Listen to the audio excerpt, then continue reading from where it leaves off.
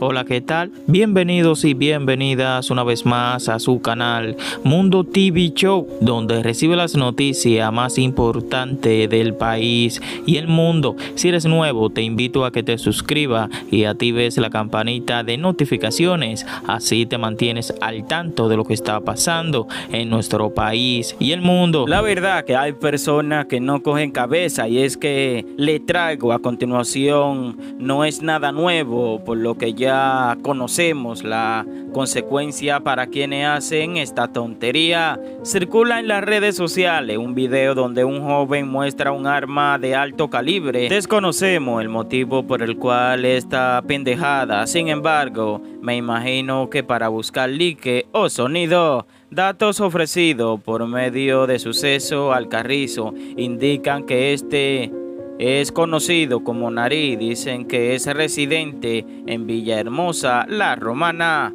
Esperamos que las autoridades hagan que siempre hacen con este tipo de personas y hagan público el video.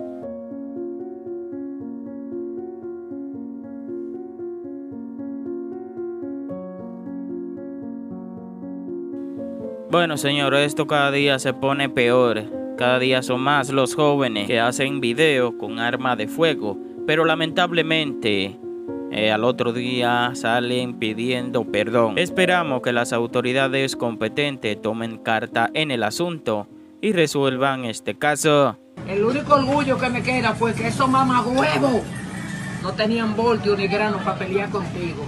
Que tuvieron que tirarte a porque no hay bola ni valor haber peleado con un tolete de hombre que esta maldita negra parió. Y que recuerden que quedan cuatro cartuchos más. ¡Dos frío!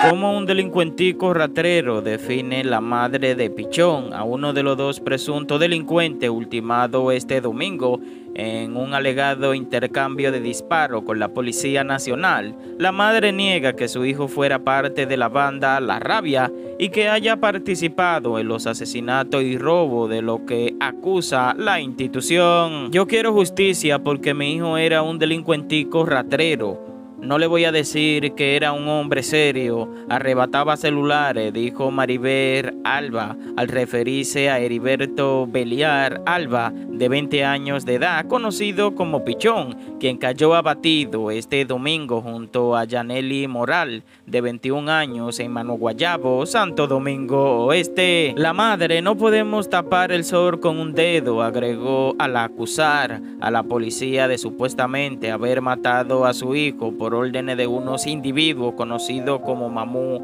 y Bruca, quienes se dedican a vender estupefacientes en el sector conocido como El Hoyo del barrio Enriquillo de Herrera. Sostuvo que esos hombres habían intentado matar a Pichón en otras ocasiones porque este no quería trabajar para ello en la venta de sustancia controlada, pero que en esta ocasión se habrían alistado con miembros de la Dirección de Investigaciones Criminales de CRIM para ultimarlo cuando supuestamente se encontraban durmiendo y de desarmado, al igual que la otra víctima. Ellos le pagaron a Dicrim porque él me dijo a mí, en mi cara, yo te voy a regalar la caja del pichón. Y de burla ayer me mandó a decir que cuál era la medida de mi hijo, afirmó Maribel mientras se preparaba para el velatorio de su hijo, cuyo cadáver aún se encontraba en el Instituto Nacional de Ciencia Forense en este mediodía.